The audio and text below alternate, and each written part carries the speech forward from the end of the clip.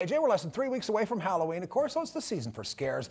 But when we run into real life scary situations like danger, it can pay to be prepared. So this morning, Erie News Now's Kara Jeffers takes us to Martial Movement. It's a martial arts and fitness dojo up in the Mill Creek Mall. They offer up free self-defense classes for women.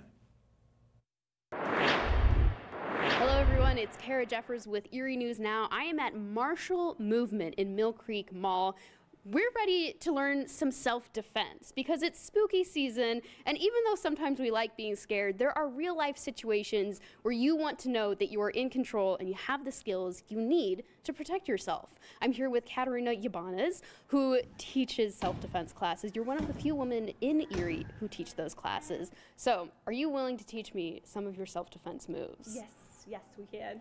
All right let's go do it all right, so um, this is gonna be um, a double wrist grab. Okay. So he's gonna grab one wrist with two hands. Oh, All right, okay. so the first thing to do, you kind of already did it. So if he's grabbing this wrist, you're gonna want that foot in front. Okay, yes.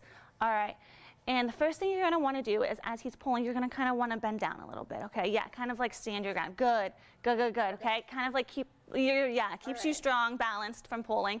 And what you're gonna do is you're gonna take this opposite hand, you're gonna reach in, good and you're going to use your body and pull out.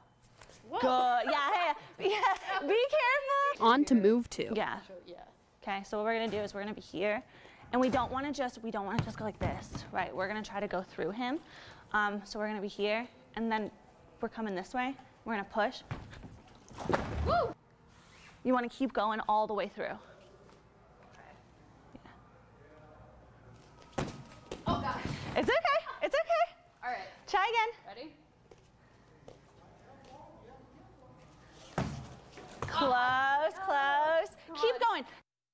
It took another example and some step by step coaching, but finally. Push. Yeah, that's better. if you want to stay ahead of the scary times this season and in all of life, make sure you're getting that self defense mindset and always push through. Kara Jeffers, Erie News Now.